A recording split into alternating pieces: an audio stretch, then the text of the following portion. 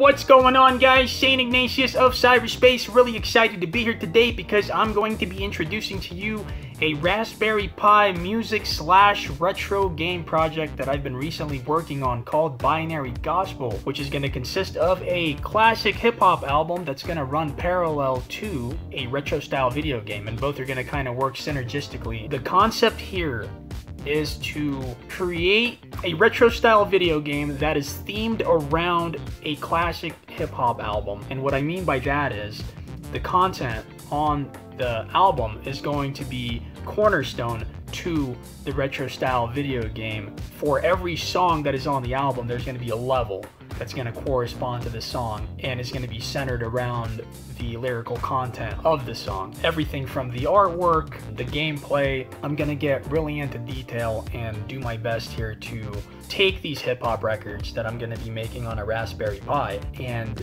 using them to create a whole atmosphere and, and a theme for each and every song as well as the video game in its entirety. As far as the music side of things goes, it's going to be using minimal equipment. In addition to the Raspberry Pi 3B Plus, I'm going to be running a Pi Sound sound card um, by Blokas, a MIDI interface, as well as a USB microphone. And the MIDI interface is going to be solely um, used as a power supply as most USB microphones uh, that I'm familiar with, um, or at least in the musical setting, require phantom power. So that's going to be the only reason that we're going to be using a MIDI interface. And the vocals are going to go through the microphone, through the MIDI interface, through the sound card into the Raspberry Pi, and recorded and edited with a free open source software called Audacity. There's going to be minimal mixing done on the Raspberry Pi. And once the vocals are recorded, they're going to be exported uh, immediately onto a laptop for further uh, processing, which is where all the musical magic is going to happen. As far as the mixing, uh, the EQ, post-production, mastering, all that good stuff. Uh, so that's how the music thing is going to play out.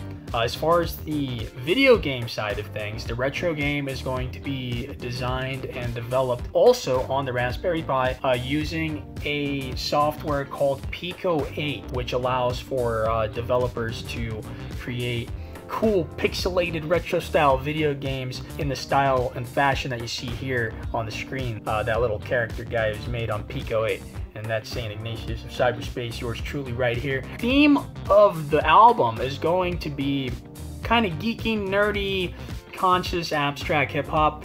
Uh, definitely gonna incorporate the musical sound of like the 90s era conscious hip hop with some live instrument play. Uh, the lyrical content of the music album is going to cover topics that'll range from computer coding, Raspberry Pi, Bitcoin, cryptocurrency, blockchain, and even some social and political issues, but mostly I'm going to be talking about stuff that interests me, uh, which is technology, computers, robotics, and um, philosophical thought. How about that? Now, once the fundraiser is complete, the budget is going to cover and include everything from the time necessary to take to complete the project in all of its entirety to uh, the promotional campaign, things like t-shirts, hard copies of the CD. It's going to be basically the driving engine of taking this project from an idea uh, to getting it packaged and getting it out there to the world and I really look forward to making the music available freely for everyone once it's complete because it's something I am passionate about and I believe in and it excites me, it's exciting. And to see the completion of a music album with the help of a Raspberry Pi is going to be amazing. And I think it's going to set an overall new precedent, not just for hip hop music, but for single board computing, right? So I hope you guys like the idea. I hope you're as excited as I am. I would like to hear your feedback. Keep in touch. Uh, check out the fundraiser page. All the details are there. Um, I will keep you posted on the fundraiser page as well as on social media and my website. Um, and hopefully we can get the ball rolling on this pretty soon. So stay tuned and until next time.